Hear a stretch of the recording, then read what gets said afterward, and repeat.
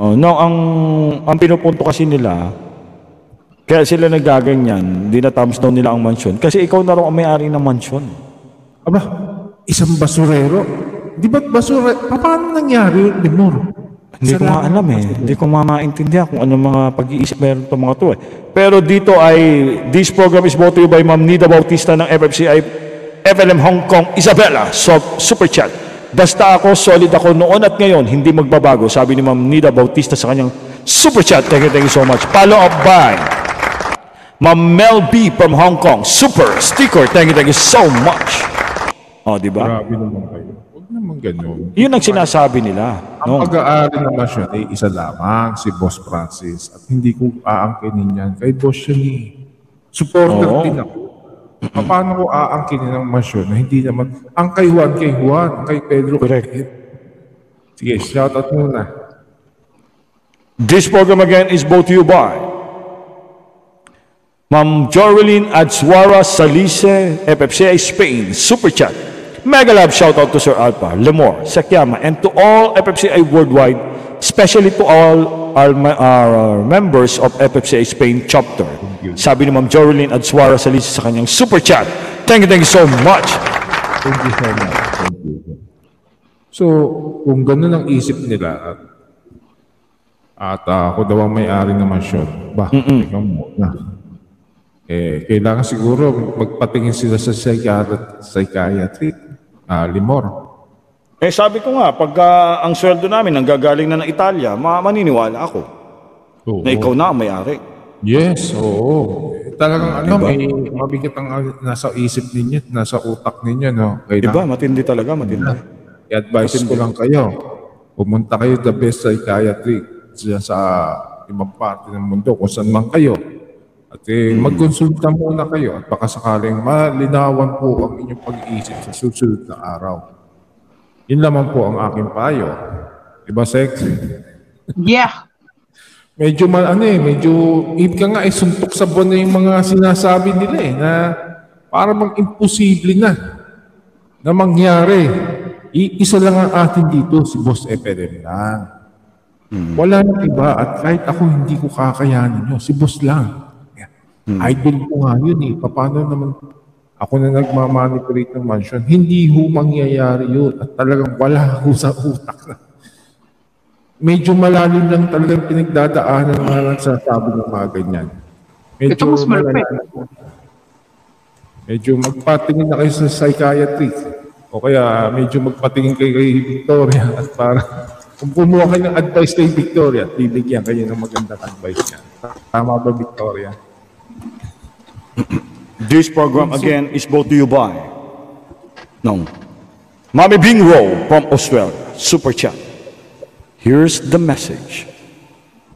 Even if you put a gun on my head, there's no way that I will be out of FLM family. I know what what solid means. Is proud to be FLM solid supporter. Sabi ni Mami Bingro sa kanyang super chat. Thank you, thank you so much. Me up, up, cause I can't sleep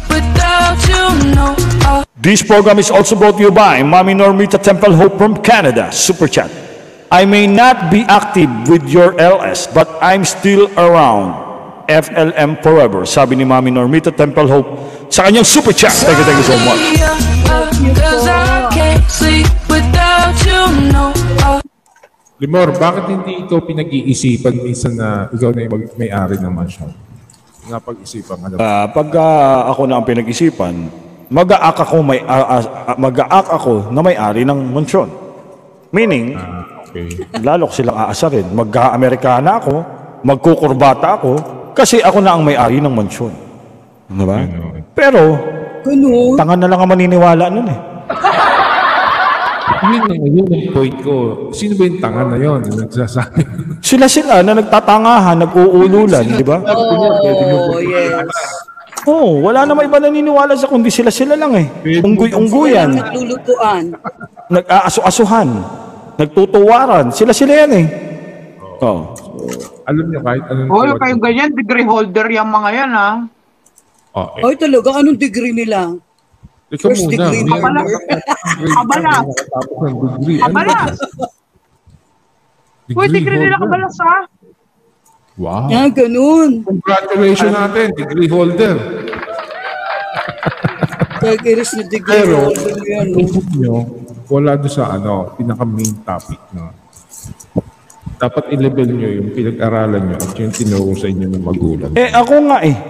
Sinasabihan ako hampas lupa eh. Pre, basa mo to, pre. Para kay pa nag-aral ako kung magiging hampas lupa lang. Pre, Ano sabi? Ito pre. Sa live stream to ni Kurimau. Ah, Ako, tragis, ano sabi? iba yan. Nerida is penida. Yan nga lagi ang sinasabi. Si Johnny. si Dito na Johnny. lang, Johnny 1. Dito na lang kayo magpalipad sa LSD ah, Abuko para maitulong kay Sir FLM. Kawawa naman para makalabas na. Wow! Wow! Galing mo ng mind control. Teka muna, teka muna. Pwede ba magmura? Pwede magmura? Pwede. Isang beses lang. Isang beses lang. Oo, isang beses. Ah.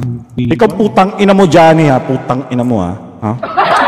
Hindi mo alam ang sinasabi. Anong sinasabi mong dyan magpalipad para makatulong mag, makapag, makapalabas si boss? kasi may lumabas daw na audio recorder na kailangan daw ng 5 milyon. Basta may pera daw kailangan. Tapos tutulungan daw nila. Ngayon, ginagamit nila yung mga, kasi puro pro nga eh, yun nandito eh, mga kay boss yan eh. So, ginagamit nila yan, na doon na lang kayo magpalipad para Grabe. itutulong.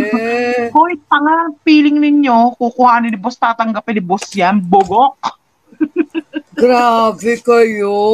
Kaya pala may umiyak, sabi, luging-lugi na ako. Ginagawa nitong mga tong mahinang klase si boss. Mga talipandas. Gago kayo. Hayop na yan. Tinanggihan Palagay yung kay boss. video ni, ano eh, Mama Maria Wright eh. Kasi pag pinawa- pinaniwalaan nyo yan, yaan, yaan ang tinutumbok nila makmak, nila lawlaw, na si boss ay walang pera. Oo, yun nga ang pinapalabas nila, bunso. Pag yan pinaniwalaan yung mga tarantadong yan, kita nyo kung paano sila magmanipulate ng utak. Di ba? Benta na lang maniniwala dyan. Yung mga bayaran. Sila-sila Doon ano, magpalipad para makatulong, pandagdag, da- ano, maitulong para makalabas si, si si Boss Apo. FLM. Anak ng putya naman, oo.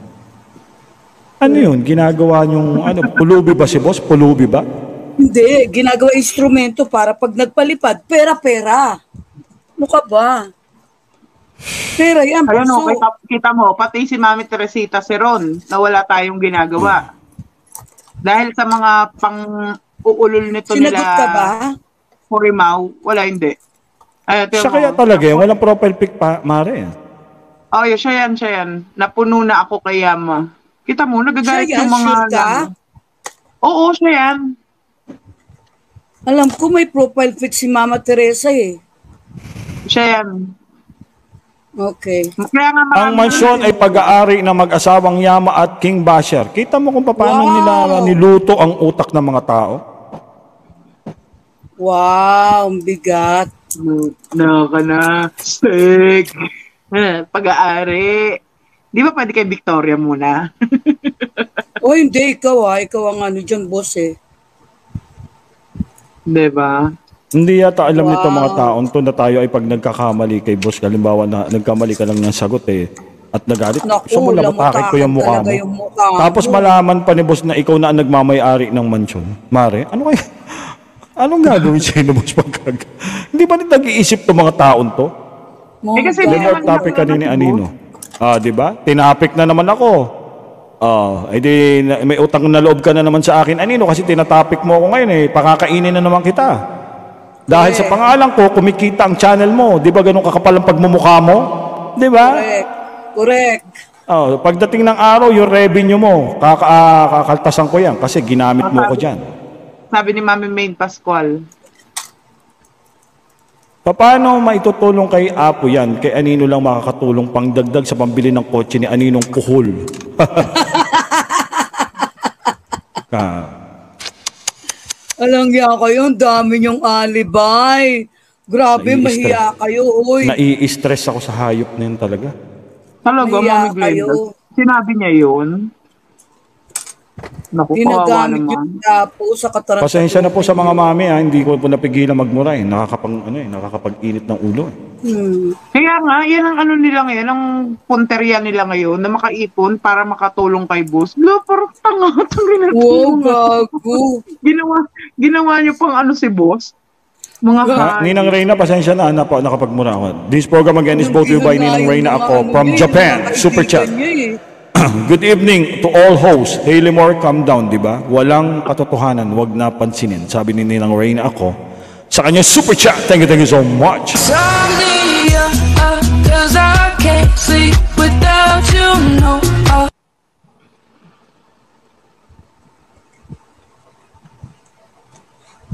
Bad trip, eh, no? Ay, grabe, no? Hmm. Grabe na. Tapos pag na, ano na, kapag nakaipon na sila, itatakbo na nila yung pera. Oo, nandun na. Nandun na sa asawa niya. May 300 na nga eh. Ayan, alam ni Alpha oh. Kasi sinabi sa kanya ni Killer, ni La- Lady Smile ba yun? Na 300 na. Kaya sila nag-away-away eh. grabe, no? Kakapal ng mukha. Oo. Talagang pinagkakaperahan nila si Apo. This program again is brought to you by Ninang Reyna ako. Super sticker. Thank you, thank you so much.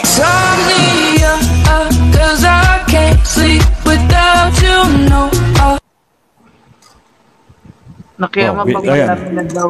ang Mara, sinabi. Alam ma, feeling nyo naman makakatakbo ko. Hindi ako pwedeng tumakbo man, taba-taba ako. Ang gagapang lang yan. Gagapang lang ako, ma. Hindi ako makakatakbo bala. Tapos mabigat pa yung pira. Alam nyo ba na ang isang milyon ay Pira. ang, ang, ang pira ay ang isang milyon ay isang kilo, mabigat yun.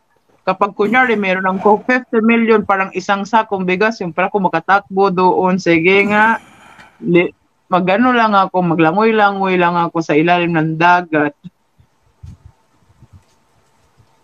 Grabe, ang kapal ng mukha niyo. Tapos puro coins pa kasi yung mga palipad dito, piso-piso, 'di ba? Naku, Diyos ko, Hmm. ka de. Grabe, bobo na lang maniniwala sa inyo kasi lahat ng revenue na ano dito sa bangko ni Apo pumapatak. Ang, pagka, ang Wala pagkaalam siguro, siguro, dyan. siguro ang inisip nila kay Bus, nabaldado na si Bus, no? mga giatay na Wala mga man, uy, nga dili man ako gisapot sa mga kabubuhan Uy. nila. Nagbakasyon lang si Bus pero hindi siya baldado. May sarili Asan ba yung tubo? Asan ba yung tubo? Grabe man, uy, alam niyo ba pagka nagagalit yun, magalamutak man ang mukha niya, ma. Ala, Talagang dili gawin man nila lahat makaporma para, si Yama doon kapag yun ang Gawin- nagsalita. gawin nila lahat talaga niya. para magka para magkapera sila sa pangalan ni Bus if ilim. Gasisi ka man.